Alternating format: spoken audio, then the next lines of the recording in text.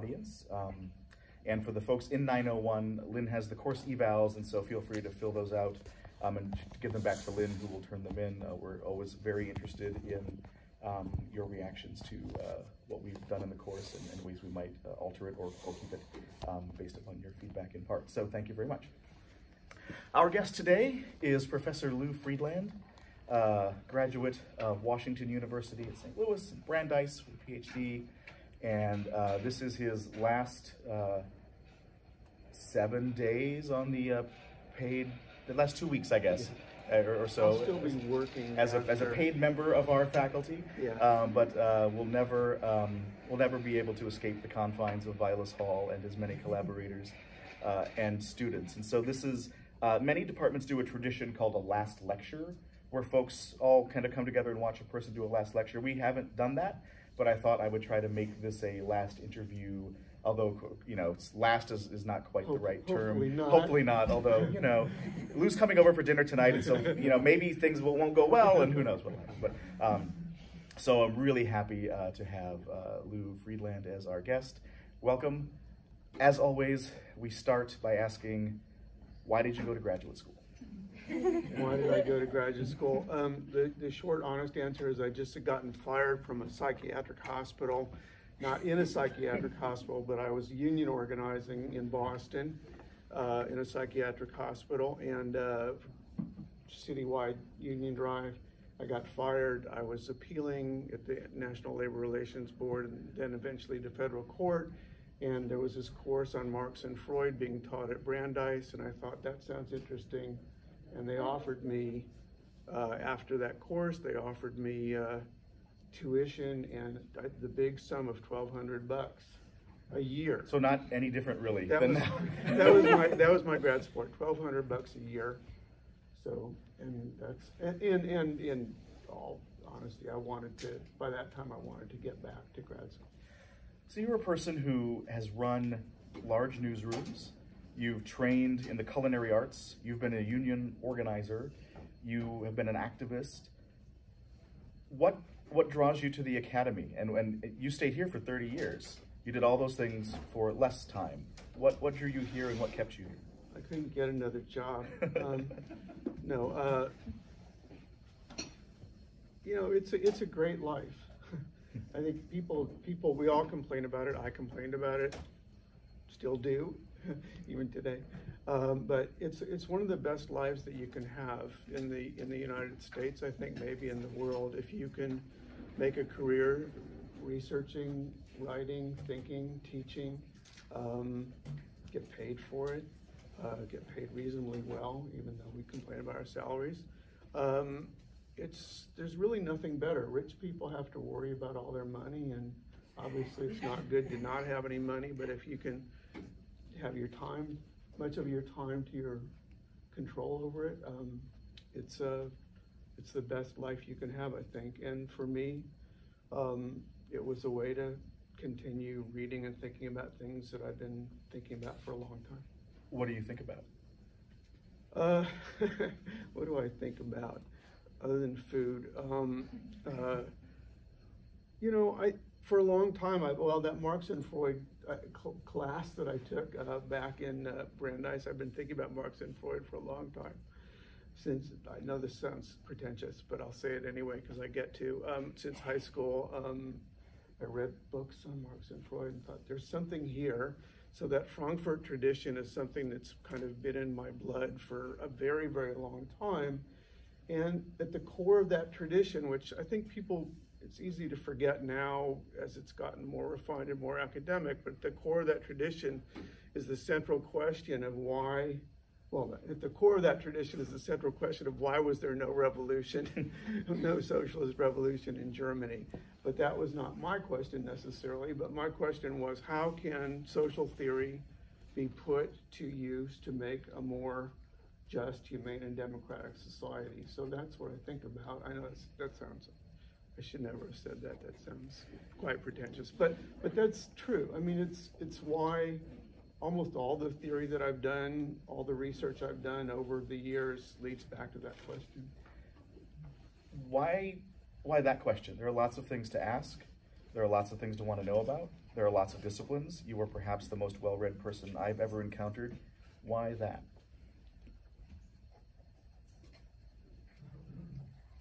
For me, it's the only question worth asking. Um, not saying other people shouldn't ask many other questions, but for me, it's always been about how can we make a more just and democratic, certainly in this moment, society in the United States. Um, uh, I grew up during the civil rights movement. Uh, I was a little young. I was a little slightly, somewhat participated in my hometown. Um, grew up certainly participated in the anti-war movement in high school and then beyond. And uh, uh, so I've been concerned with questions of, you know, racial and, and other economic justice for a very long time. And uh, uh, it's just, it's just, it's, it's what I'm most concerned about. So you had these concerns. You get a PhD in sociology. Then you come to work in a school of journalism and mass communication, where of course you have the freedom to continue to pursue those questions. But from a from the point of view of an assistant professor coming into a highly regarded program that deals with one thing, and you coming from a different disciplinary tradition, how did you navigate doing what you wanted to do while fitting in here in your early years, knowing of course that you come by journalism honestly with your prior career and you know that sort of thing. But yeah, I think that's part of the. I mean, long story short, actually, it's not short because I don't have to be short. Um, we only have an hour. um, I had, as you know, I'd done work on social theory academically, although my, my dissertation I switched. When Ronald Reagan was elected in 1980, it became clear to me that communication was the central ground of political uh, battle or contention in the United States, and that's why I got into TV in the first place. Um, and so there was a connection there too, but um, I switched and wrote my dissertation on cable from the original topic, which was on Habermas, uh, uh, to cable broadband communications, the control of industrial society. Um, and that, so I, I, had made sort of an intellectual transition to the field of communication. I made a practical transition to the field of communication. Um, but uh, uh, but I never worked. I'd never worked in the field of mass communication. Uh, I knew honestly close to nothing about it when I was hired here, which was probably it's good that I'm. I gave my first lecture and or my my job talk in this room, so it's a good thing I didn't say that then. But um, uh, but but uh, I I learned communication on, by on the fly. I was lucky in my first years. I did work on, I wrote a short book on CNN and international television news, which is something I could do partly from my, you know, general knowledge as a, you know, journalist scholar and from my experience. And I did some work that I liked on mapping international television news. So that was my transition into the discipline. Um, I was very fortunate, uh, uh, had a, uh, a graduate student, Zhang Bai, who was Chinese and a, for lack of a better way of putting it, a refugee after Tiananmen in China. Uh, he had had to leave the country. So Meng Bai was my assistant and we did a, a pretty large study of coverage of Tiananmen Square, the Tiananmen Square massacre. Um, and so we looked at CCTV, Chinese Central Television, Taiwan Television, CBS, and CNN, and we did in-depth study of all of them. And we did it in, the, we were, I think, among earlier ones in the field to, do, to use, use that, do that based upon a set of ideal types. So we were trying to bring Weberian style histor historical ideal typical analysis, and at least those of you who have my classes know what I'm talking about.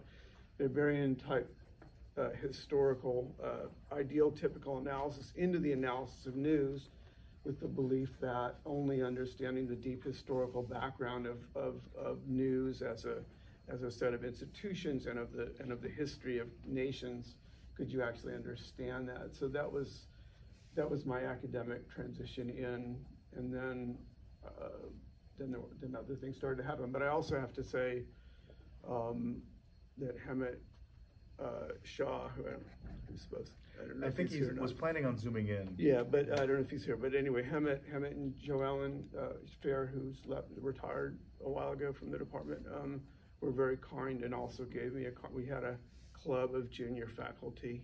I won't say what we called it. It was kind of a funny and not an irreverent name. Um, but uh, uh, uh, they they sort of helped me learn what what mass communication as a discipline was because I had no idea. I'm going to do a, a housekeeping note. If well, let us slide our chairs closer that way. I I, I think way? that I'm getting information that they're having a harder time hearing on the Zoom. This will be imperfect, and Is this thing on? Just kidding. yeah, Lew flew in uh, from uh, Midvale and Boyer. His arm's tired.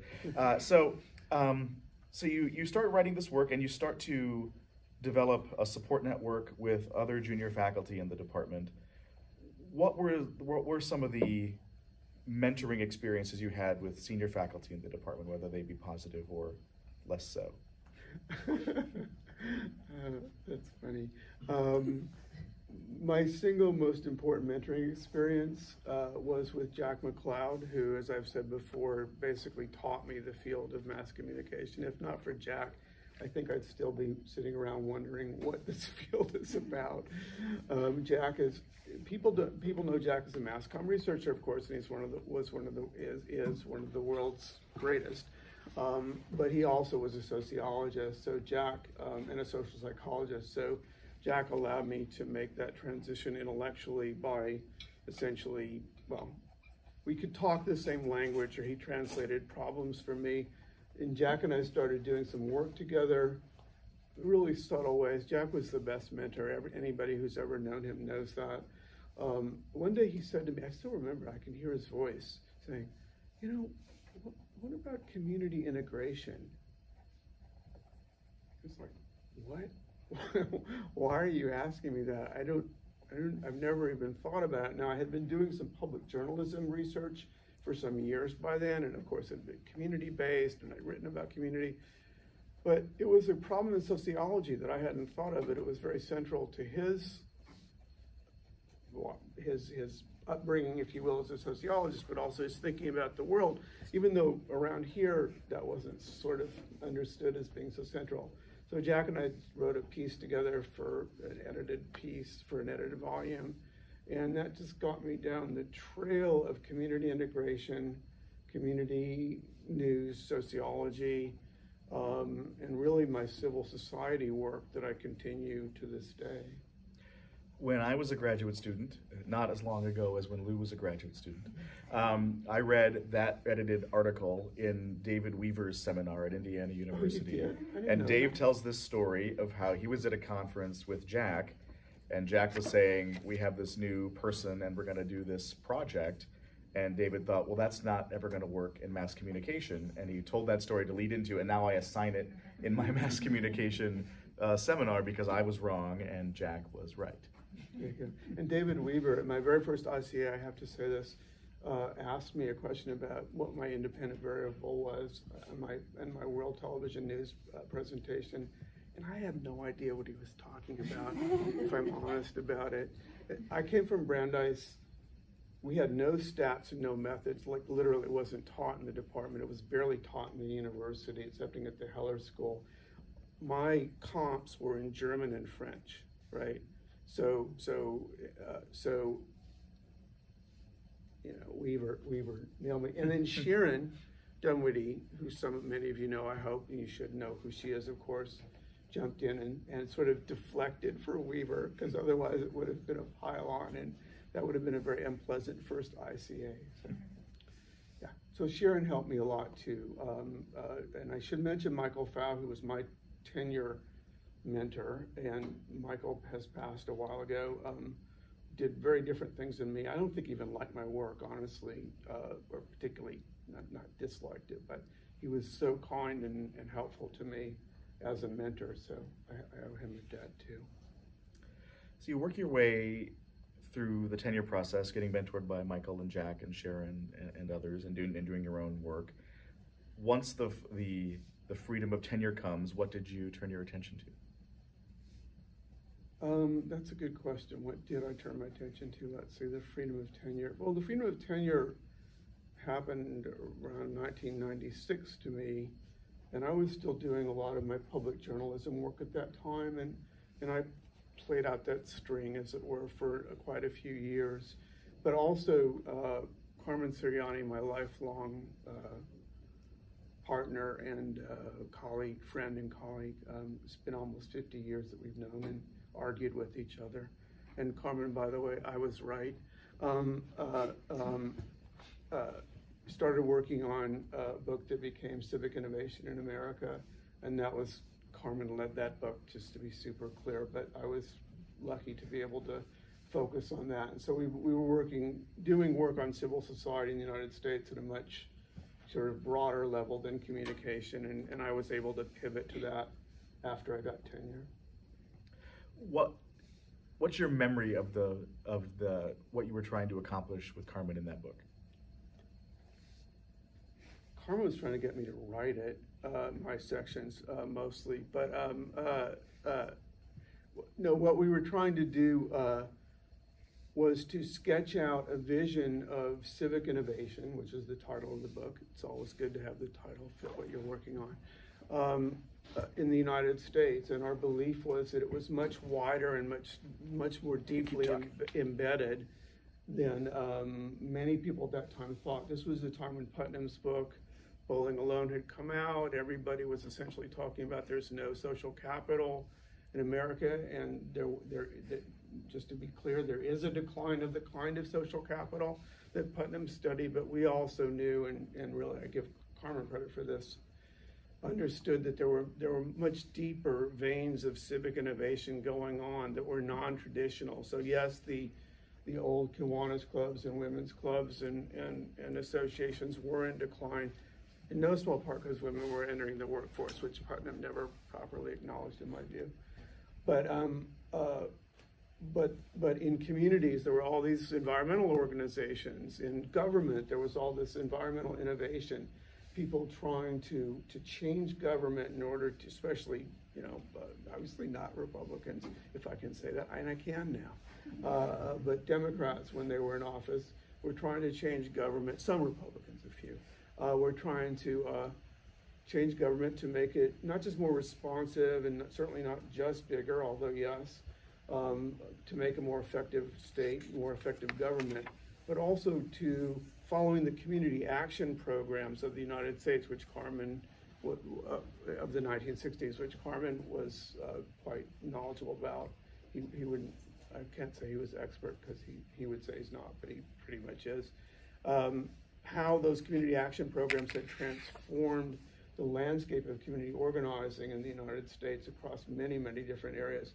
So, so, so we, no, but nobody, when we talk about decline of social capital, civil society in America is in decline, nobody even was taking notice of those things. So, you know, Putnam measured, you know, the lack of, you know, membership organizations. People had stopped, you know, joining local clubs and, and joined the Sierra Club, which is so-called checkbook organization. But, there were all these environmental groups all across the United States, watershed associations and forest preservation associations and rivers and stream stream uh, friends of, and and he didn't take any account of any of those. So we just thought empirically he was wrong, but more importantly, structurally, um, there was something happening in the United States that was actually long and a deep current that we wanted to talk about. Brief uh, fourth wall breaking. Katie, can you hear any better than before? I, I don't have. I just give me a thumbs up or a thumbs down because I have the sound is off for Zoom folks. Is it better than it was or is it not? Thumbs up or thumbs down. Again, not talking because I can't hear you. Katie, thumbs up, thumbs down. Mitchell, thumbs up, thumbs down. So if, sorry that the sound isn't any better. Okay, um, sorry everybody. You might have to, if you wouldn't mind trying to project, that might help. Um, so one element of what you said there reminds me a lot of the work that you do um, with uh, with Dhavan and me and Chris and Kathy Cramer and John Pevehouse and, and others related to one the value of understanding local information ecologies, but two the way that they are integrated in complex ways with mid and larger communication ecologies. And I, and I would say, so for my money, one of the things that you have left an imprint on our discipline on is that one, the way mass communication operates in a society is much more complicated than we think. And two, even though one is true, that does not mean we cannot rigorously study it, elucidate it, um, interrogate it, analyze it, and understand the implications from it. And so, to talk a little bit about your interest in this set of overlapping information ecologies and how they not just interact with communication, but the social structures that kind of guided some of the stuff that maybe drew you to graduate study in the first place. Sure. So even going back to the work with Carmen, and I want to also give a shout out to Kathy Campbell, who I see here. We did work on public and civic journalism together, and that was one of the currents um, uh, that led me to that, I guess, deeper understanding or more focused understanding on community and community structure.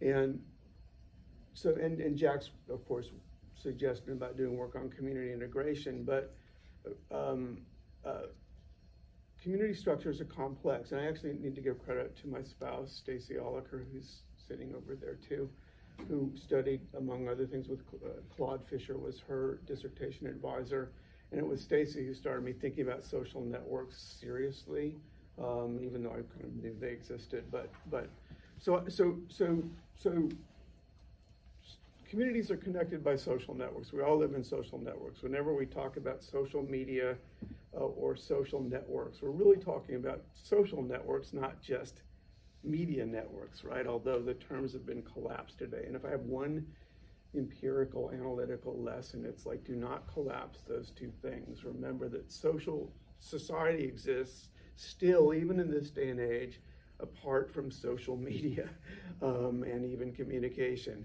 And so the fact that these are layered phenomena is really important because I would argue, some people would disagree with me, that society, pre, social relations pre-structure communicative relations. That's not to say that they aren't transformed by communicative relations, but when people are living together in, in a community, in a social, in, in social groups, social networks, they um, uh, are connected in ways that uh, that make we use that term affordance today sometimes.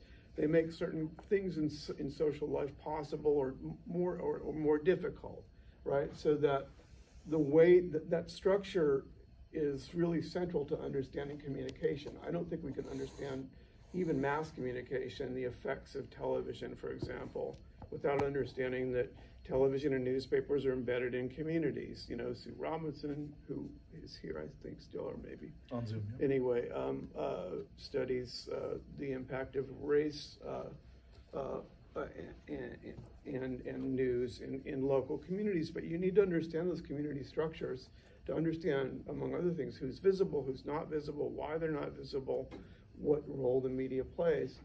And, and so as a, the more work I did, the more, and some of you might have heard, especially those who've taken classes with me, I've done work sometimes on Jürgen Habermas, uh, who himself uh, bases fundamental parts of his sociology on Talcott Parsons.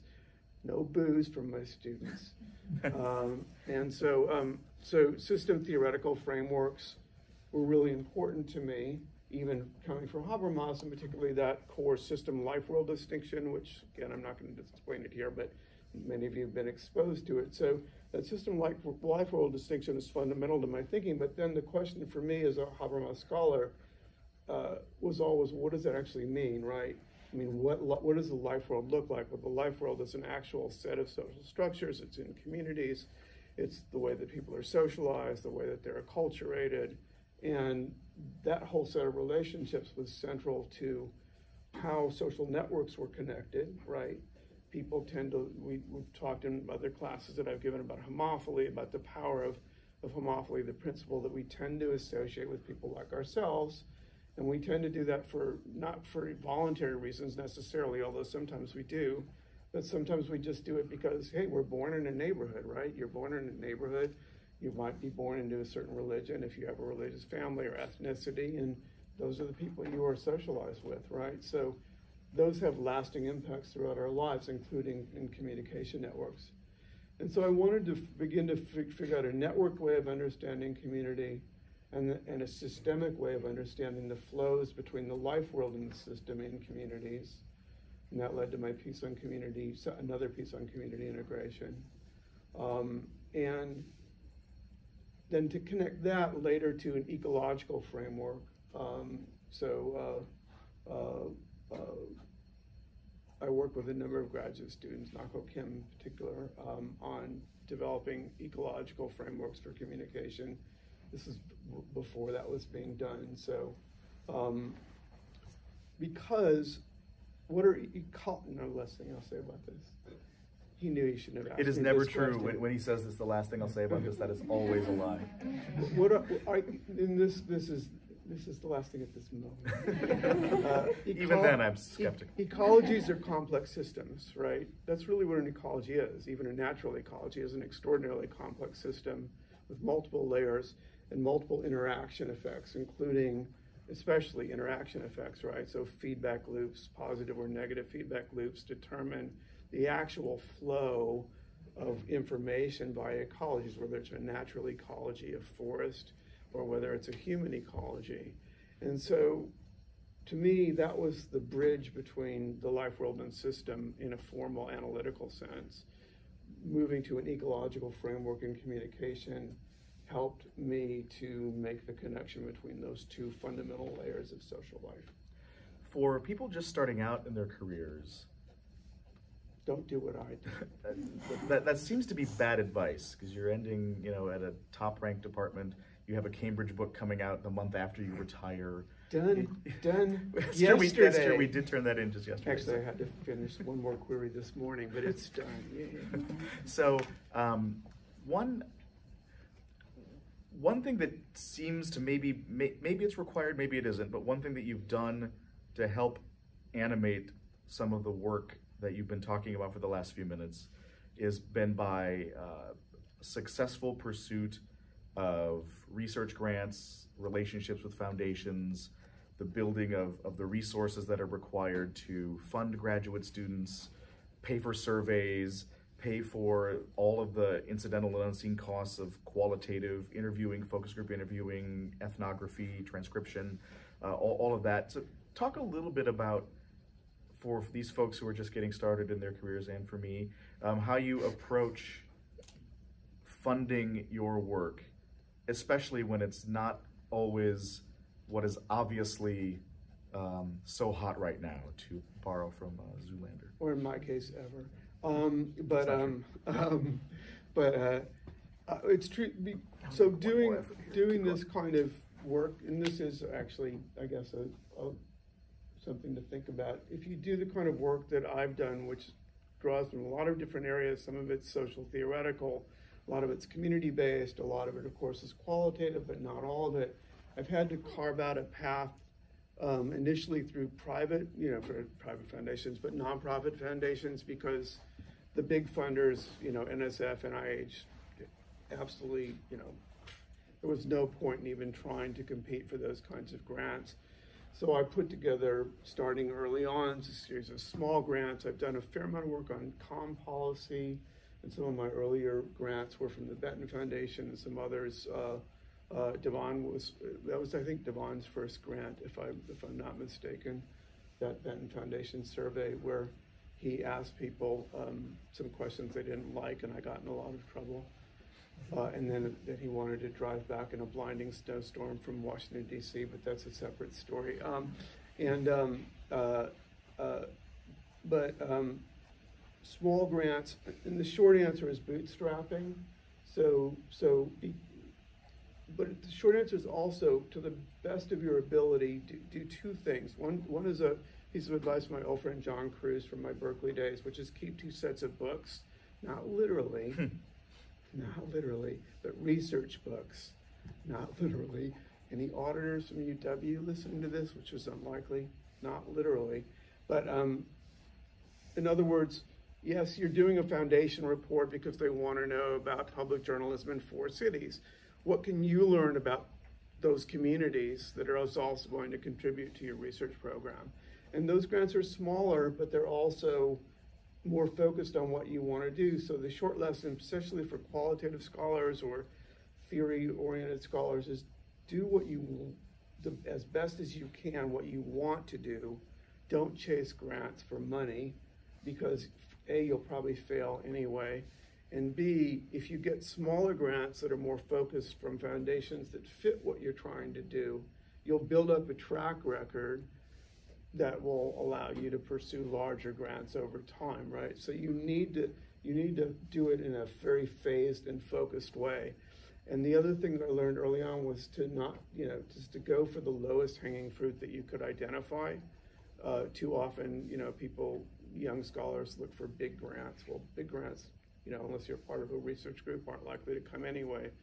So look for the money that's there to do what you want to do. And sometimes it's, you know, 10,000 bucks, which might sound like a lot now, but it's not a lot for funding a research project. But, but that's enough to maybe, and back then, especially when I was getting started, you could hire an RA for almost a year for 10,000 bucks, or you could, you know, get out in the field and, you know, so, so look for the, the pots of money that are isomorphic with what you want to do. And a lot of times those are foundation reports so foundation wants to know about, you know, a certain area.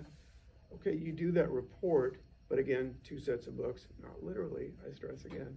But you say, okay, I'm going to do the, we just did a report for Love Wisconsin, which is a really good organization that tells stories of Wisconsin citizens, and we used it to fund some of our qualitative work. So it's just continued all the way through.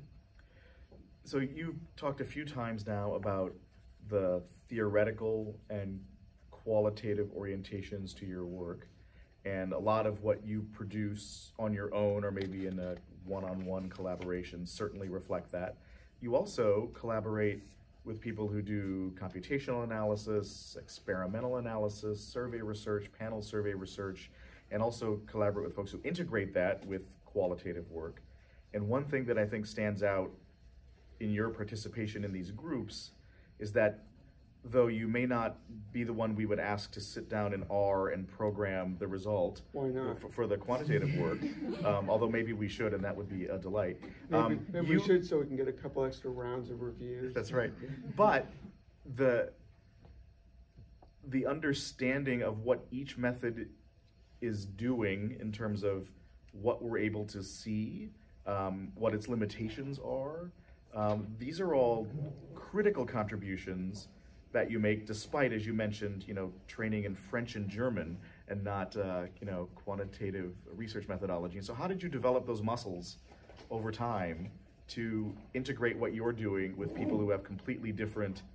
Uh, well, I won't, I won't say completely different epistemological orientations, but completely different um, tools, methodological orientations. Yeah. Um, first of all, I had to learn some math. Um, no, uh, I really didn't. Uh, as Stacy will attest, I still am not very good. Um, but um, uh, the short answer is that, and we talk about this in some of my classes too. Um, we, Jeff Alexander has this continuum of scientific research, which we've talked about, ranging from the very empirical to the highly theoretical, almost philosophical. And in there is a kind of analytical mid-range. And that analytical mid-range comes down to what are the core questions here and how do you put them together? And does this fit and does this make sense? And so a lot of what I've done, even that system life world stuff, which is of course very abstract, it's a question of how do we actually understand how certain things happen? What are the actual connections here? And so by paying attention to the connections among levels of analysis and of course specific research questions and problems, um, that's how I've sort of tried to make a contribution to the more mixed methods work that we've been doing. So there are three things I want to get to before opening up to uh, questions from, from others in about 15 minutes or so. One of which is related to uh, your role as a mentor uh, for faculty, for graduate students, for undergraduate students. And so this morning I received two texts. One from an assistant professor who said, I don't think you understand the mentoring hole that's going to be left for us when Lew leaves. And the second text I received was from a full professor who said, I don't think the junior faculty know what they're losing when, Lew leaves. And so, so, so both are wrong, right, in, in some sense. But um, I think I want to ask you, how have you approached mentoring faculty, both in our department and, and across campus. A lot of the work Lew does also is from a service perspective, sitting on the Baldwin Review Committee and uh, working with the Morgridge Center and all kinds of other things across campus that touch the lives of various faculty members in various stages of their career. How do you approach faculty mentoring? Faculty mentoring? Yeah. First of all, I approach it when someone approaches me, so I don't, you know, stay out of people's business if they, you know, if they don't want me to be. But often people will come to me, usually with a specific issue or problem about whether it's publication or whether it's tenure trajectory or um, for other colleagues, sometimes it's, you know, it's counsel people about job choices, whether they should leave or stay. Good decision. um, and uh, um, you know, I honestly, it's hard to answer that question because I just give people.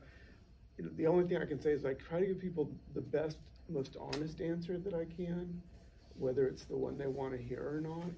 And I try to do it in a way that I would want to be hearing it. So it's classic, you know.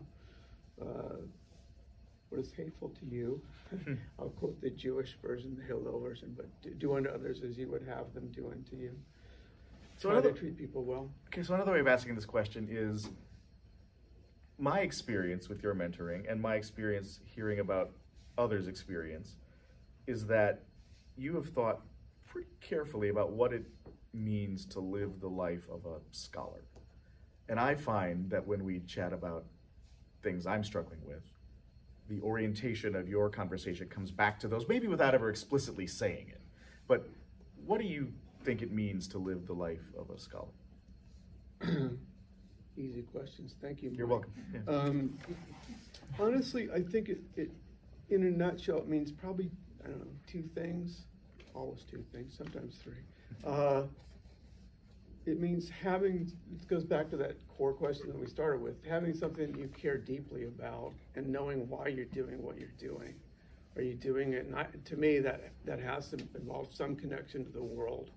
And as a, I guess as a inveterate, you know, I don't know, reformist sounds so old and staid, uh, but uh, someone who's believes that, that we can make social progress, that I would argue that that's the most important kind of connection that you can have is how is my work actually contributing to make democracy better, civil society better, people's lives and community better. That sort of guiding set of values, and I'm God knows I don't sit around saying my guiding set of values. I just you asked me the question, but I think having a kind of guiding set of core values, and then having an intellectual trajectory that at least is trying to remain faithful to those values, meaning how is what I'm studying actually going to uh, advance them in some way, or it can it, maybe, hopefully. And then finally, so I said it was not really two things. Finally, reading deeply, and that's the one piece of advice I would give. I try to give it to any of you who are in, in 880 this semester know what I'm talking about um, and Jenny has been in other classes, who I've tortured with many things uh, to read. Um, but um, read well and read deeply. One of my biggest concerns about this field is that, and our field, but it's true in others too, but I think in COM even a little bit more, is that we read too much and too superficially across too many things. So when this study done, that study done, I have to do my lit review. Boom, boom, boom, boom, boom. What are your core intellectual orientations? Have you read the big books, or the hard books that talk about the things that you really care about? Have you studied them? Have you taken notes on them in a, in a way? You've heard me talk about that. Not that I do such a good job, but have you taken notes on them? Have you captured the core ideas? And are you, in, in C. Wright Mills's terms, are you building a file? Or are you building a way of capturing your work over time so that when you do hard work on a hard book, it's not just underlined, which I'm very guilty of, I want to be clear. It's not just underlined, but you've actually had a dialogue with that book so that you can take the dialogue that you've had with that book and have it with others, including others in your field and your writing. So building up an intellectual base is really important. And, and it's so easy in graduate life today generally, but I think in our field maybe even a little bit more so, to sort of skate a little bit. There's just too much, too much stuff, and I understand that there's tremendous pressure. You want to get a job, you have to publish a lot. You publish, you publish more if you do things, more things. You do more things when you do them a little less deeply. There's always some trade-off there, right? But take the time to find the deeper currents of your work and invest in the in the books, usually books, but or core articles, and really learn them. So my second area was going to be graduate mentoring, which you've done nicely here with the the, the advice about reading deeply. Other other things that you think are a hallmark of what can help graduate students navigate their program, but also maybe their, their early career outside of their degree. Yeah, and of course, you know, short answers are pretty straightforward. Find mentors, etc. Find mentors and listen to them, or at least listen to them critically. Think about whether their advice is right for you. I'm very good at listening to Luke critically. Yeah. Mike, I just want to say Mike never does what I tell him to do, actually. But uh, but still, I appreciate that we talk about these things. Um, that's not true.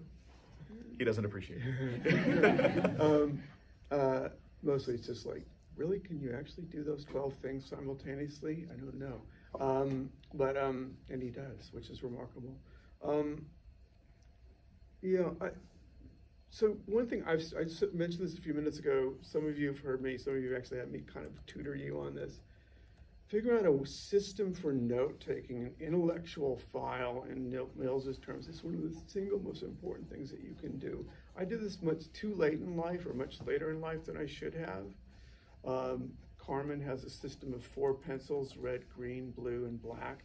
I've never figured out what they actually all mean, but he has a way of capturing his notes systematically. You have to have a way of doing notes you have to have a way of keeping files and revisiting your files. So that book, that short uh, piece on intellectual craft by C. Wright Mills that we've read in my graduate classes over the years, I strongly recommend it to everybody, whether you're still keeping files in that way or not. The core principle is the same. And, and, and, and that allows you, so Joe Lukito, who is, a, I think it's fair to say, is a, a mentee of mine among other people, um, has really been, we've been working with that over the past years. And so the question is, how do you do the stuff you have to do, which is a lot, whether as a grad student or as a young professor, while still, and it's still that keeping two sets of books idea, while keeping the deeper currents, while nurturing the deeper currents of your thinking and not getting lost in the stuff of which there's a huge amount that you're going to be doing every day and it's hard to do. I'm not going to pretend like, oh, you know, it's easy. Just keep keep an intellectual file. It's a question of making time. You know, I would suggest blocking time, whatever your best time is for thinking and reading. Not your worst time, not you know 11:30 at night or whatever it is, but in the morning for me. I think probably for most people really is the morning. Even though as a grad student, I was trying to do things at 11:30 at night too. So find the good time and pay yourself first intellectually and you know, I don't mean not pay others, but I mean pay yourself first, meaning capture the core ideas of what you need to work on, and then move on to the stuff, because the stuff can be done with when you're slightly less sharp. So we end J901 with a uh, lightning round of questions, which is never a lightning round, um, much to my chagrin, and then uh, open it up to a couple of questions before we hit time. And so, lightning round begins with what's the, your favorite thing you've ever written? Jeez. I like anything I've ever written. But one has to be the, the, the least hated. Well, in scope, uh, yeah, you know it's not going to be worth it. In scope, it's civic innovation. I'm proudest of that. I think that stands the test. Uh, the network public sphere that I wrote with Hernando Rojas, who uh, was here, it's not anymore, and Tom Hovey. Um, was was a very very important piece for me, bringing a number of ideas together. What's the most remarkable, notable experience you've had with a reviewer? I've been I've been incredibly lucky. I don't, and it's not because I'm good. It's really not. But I have had. I don't think I've ever had an article rejected. So, um, which is not really it's luck, and I'm not just saying that it really is luck. The kind of stuff I've written, the place I've written it for. Um, most of them are reasonable. I mean, you get the the worst ones are the ones who who sort of think they've read Habermas and really haven't, and then that really makes me that pisses me off. Tell you know because they've read one secondary work five years ago and start telling me what I should do. If there's one thing graduate students in their first year should know that will help them, it is set time priorities and block them carefully. You can't do everything, so determine what's the single most important thing that you need to be doing at any given time, which is building your own intellectual profile for yourself with your advisor, and then let the other stuff follow from that. If you try to just circulate from one thing to another, it'll drive you crazy. And that's true of classes too. You take three seminars, four seminars, you literally, in your TAing, you can't do it. I mean, I don't mean you can't, like it's hard. I mean, you can't literally, there's not enough time in the day. So you need to do proper triage starting early. Like, how am I gonna, you know, this thing in this class, I really wanna read this, it's really important to me. These other three things I can quick skim or cheat, you know, like kind of barely read and set those priorities questions from, we'll start in the room and then I'll open up a couple to Zoom.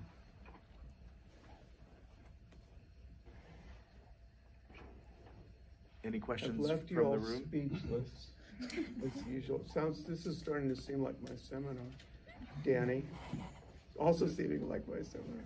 I know you're going to keep researching after retirement and working with people here in the department. What are your projects? What are you doing? And like, what's next? What's next? Okay. Um, several things. Uh, Mike, Chris Wells, myself, Dhavan, and uh, Namjin Lee are working on a redo of our, uh, I call it, we call it, call it our Bourdieu project, essentially culture and consumption, which we did back in 2006 and I'm rediscovering some really important work done by a guy named Mike Savage, who just has a giant new, excellent book. I've only got the first chapter or two done on inequality. So Mike Savage, and I'm trying to bring Savage's work back to the Bourdieu work that we did. Joe and I, Joe Lukito and I, are working on some things about the field of social media in in terms of social network affordances and strong and weak ties. Um, uh, so, so there's that. Um, uh, uh, uh, Carmen and I are, and Carmen, Carmen, so Carmen's project that I'm helping with on Civic Green, which is a great new project that he launched on retirement, which is looking at ways that we can reinvigorate or not reinvigorate because it's being done anyway, but reinforce civic environmentalism in the United States that as we have a Green New Deal, it will be rooted in communities and, and also the transformation of governance. Um, I have my own work on civil society, my, you know, long, uh, and uh, uh, rethinking the concept of integration and in, in the terms of the context of integration crisis which some of you will recognize as echoing Habermas's legitimation crisis. I think we clearly have a crisis of integration, but I don't think we've given adequate structural explanations. And then I want to go back and start Bellah's, Robert Bellah, fabulous, great, one of the greatest sociologists of the 20th century, wrote a book called Religion and the Evolution of Society, which um, I'm, it's the first thing I'm going to crack when I'm done with this semester. Oh, we finished our book. No, uh, yeah, uh, our book will have, I don't know, Mike comes up with three new paper ideas a week, so I'm sure I'll be working on some of those. I feel Stacy seething at this level of stuff to do after retirement. and I will do more. And I will do more housework. well, you know, uh, maybe one other question from the room before I'll ask Zoom. And if the folks on Zoom there's a feature on the bottom of your screen that says reactions, and you can um, raise your hand with that function. So I know you'll have a question. I promise that we won't get to everyone, but we'll, we will try to get to someone. Jenny. Um, Lew, I know you've collaborated with uh, both students and faculty outside of the U.S. So how did the um, international collaborations with both shape your thinking about the big problems in communication and civil society? Oh, that's a wonderful question. Thank you, Jenny. Um, you know, I've done a fair amount of work on China. Not, not, not that I've done, just I've worked on China is really wrong. I'm not a China scholar in any way, shape, or form, sense of the word. But I've it had a long-standing interest in China and my work on, you know, the TMN work and the world comparative work from a long time ago. So for a long time, I've, it just it, it forces me to understand that, that the structure of democracy in the United States is not unique. I mean, rather it's it's distinct, and also that that civil society and problems of democracy take many many different forms. And so it keeps me honest on it, really, more than anything else, working with my, particularly my, uh, they've tended to be students from Korea and China. I see a number of them here. I'm not going to name check because I'm going to miss somebody. I There's more than one page. Yeah. Zoom. Um, uh, uh, but also Manisha in India. So, um, uh, so uh, just it keeps me honest and realizing that the United States is, you know, how can I put it? I'll put it directly, a hegemon, meaning it, it has a distinct position of power in the world, but it uh, is not, uh, doesn't control the shape of other societies or nations. Is there a person on Zoom who has a question they would like to ask of Professor Friedland? It looks like uh, Carmen, I see your hand up. So if you can um, unmute uh, and then um, put Lew on the hot seat. Yeah, if you can unmute without tech support. um, it's not so much a question. It's I just want to say that it's been a blessing to have known Lew. We met when I was a grad student and he was still an undergrad, and been a huge blessing. First of all, just as friendship, um, and it's so great to see some of his family here and secondly, that I got a chance to work with him because we had this strange pathways crossed at a time when I was coming back to Brandeis and he was finishing up, which was wonderful. And um, you know, I I totally treasure uh, the work he's done, and I will say just the thanks to your department, um, not only for hiring him, uh, of course, but for nurturing him for so many years. And and this is true. In the last week, I have had two very intensive dreams. I've woken up and talked to my wife about them. And the dreams were I was out there visiting, and I was overwhelmed by how brilliant and exciting the faculty and the graduate students. I was like completely intimidated because it was this place that was so amazingly rich. Now, I, you know, I haven't been out there to, to see it, but I know from talking to Lew for so long, you know, that that's the case. And the people who are here now, and also some of them who have moved on. And so, just as a dear friend of his and, a, and as a colleague and scholar, I so appreciate your department. I can't tell you. Thank you. Thank you. Uh, thank you, Carmen. What he means is thank you for hiring me because otherwise he would have had to deal with me for all these years. but he has anyway. That may be so what he meant, but it was it still nice. Didn't, didn't really help. thank you, dear. What, any uh, any last Zoom? It, it, would be really help if people use the hand raising feature because I can't see people on the second page. But I see Dhavan. Go ahead, Dhavan. I'll just say, echoing uh, Carmen's points, you know, it's Lew is a tremendous influence. He's been a great mentor. He's shaped the thinking of so many in the department. His imprint on the field is as much through his mentorship and his shaping of other people's thinking as it is through his own scholarship and his students.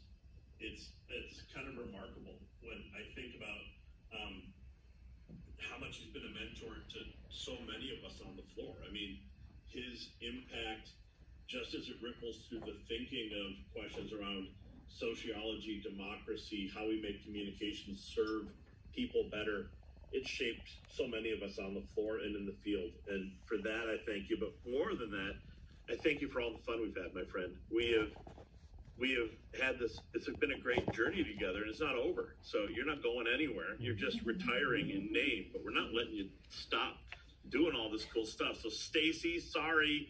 We're, we're, we're, keeping him engaged. There's no way we're going to let him go. That- and, that- uh, it, it, has, it is a blessing to have you as both a friend and a colleague as a mentor and as a partner. Thank That- you Thank you. That is how I, I, I would also like to end by saying, despite the incredible value of the scholarship uh, that Lew has done um, and the way that the scholarship has influenced the path-breaking research done by faculty and graduate students on this floor. Um, we didn't even get to Madison Commons and the training of journalists, for example, uh, on this floor in, in, in one hour, um, to the way that it shaped how the other scholars of, say, the Knight Network does its work and how they think about things, to folks across the globe, to the, the mentoring work. For my money, it's, it's the balance of the fabulous dancer, chef, jazz piano player, good friend, uh, that, that makes this uh, a loss to us in terms of the membership on our active faculty. But of course, as Dhavan said, you aren't going anywhere. And now, since you won't be in any meetings, we know that you'll be free to do more stuff. So this is fantastic uh, for for uh, for all of us. And so I think what we'll briefly do is conclude our hour. But then, if folks on Zoom want to chit chat with Lew, we can maybe make that happen. Um, I'm not sure if this room has another thing happening at noon, but so I want to make sure to be sensitive to what other folks might be doing in here. But we'll keep that going if folks might like to engage um, with, with, with Lew for, for, for a few minutes before we can move on to our next research meeting. But before we do that, if the folks on Zoom might unmute and if the rest of us might join me in thanking Professor Friedland.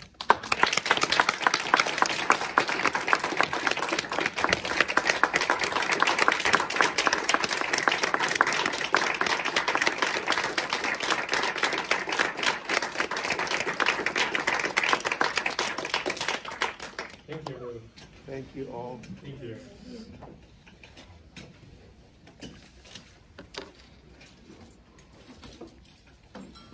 For folks in J901, if you could fill out your course eval and give it to Lynn when we're done, that would be great. Pardon, pardon me?